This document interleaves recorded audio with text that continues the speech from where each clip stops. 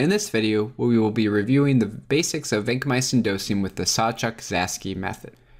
At a high-level view, the Sawchuk-Zaske method involves obtaining two drug levels, whether you're at steady state or not does not matter, calculating a patient-specific elimination constant and volume of distribution using basic algebra, and then finally determining a new dose, again using algebra and the pharmacokinetic parameters that were calculated in the previous step.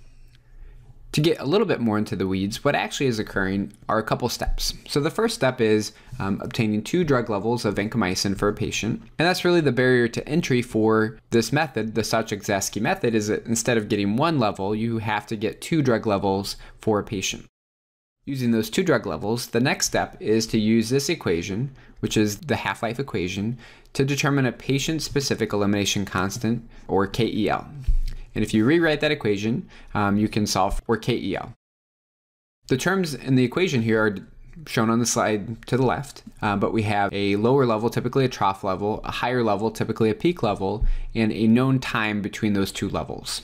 And using the rewritten version, you can solve for a patient-specific elimination constant that is really not an estimate, but a true calculation of that patient's pharmacokinetic parameter. Depending on the type of drug levels you obtain, uh, you may need to back extrapolate a true peak and or a true trough for a patient because we need those values for the next step.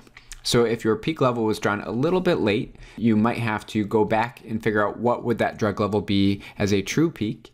And again, if your trough level was drawn a little bit too early, you may have to use the equation right here, which is again that half-life equation, and basically come up with what is the true trough or the true minimum value of uh, vancomycin for that patient.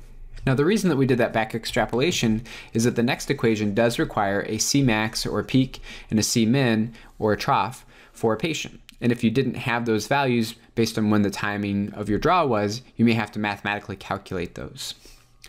Now, in the next step, we're really interested in figuring out what is this patient's volume of distribution. That's one of the two pharmacokinetic parameters that this method will allow us to calculate, the other being the elimination constant or the clearance of vancomycin. So using this equation with a given dose, a given infusion time, a given elimination constant that we calculated in the previous step, um, we can use this equation to figure out a patient-specific volume of distribution.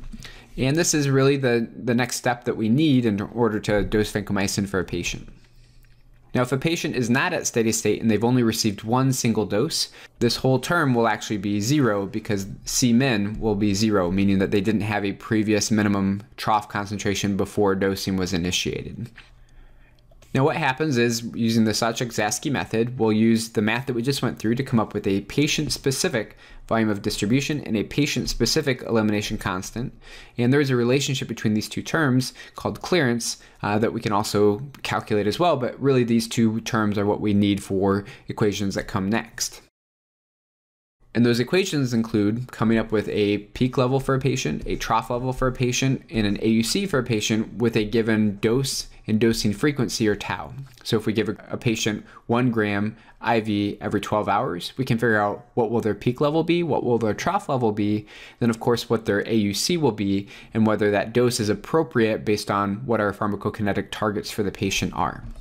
If you'd like to see this method in action, the updated version of the clincalc.com vancomycin calculator does both Bayesian modeling and the Sawchuk-Zaske method based on the parameters of the patient and which one would be more appropriate based on the drug levels drawn for the patient.